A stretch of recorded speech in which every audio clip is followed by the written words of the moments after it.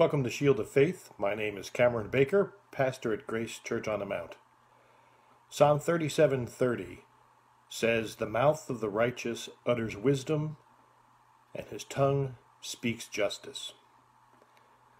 Facebook, Instagram, Twitter, Snapchat, TikTok, with so many platforms for communication, I encourage you to represent Christ's kingdom well.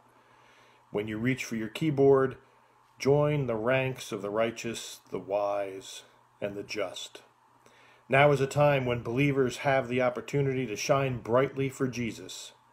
May the words, the memes, and the videos that we share benefit everyone who is less secure at this time.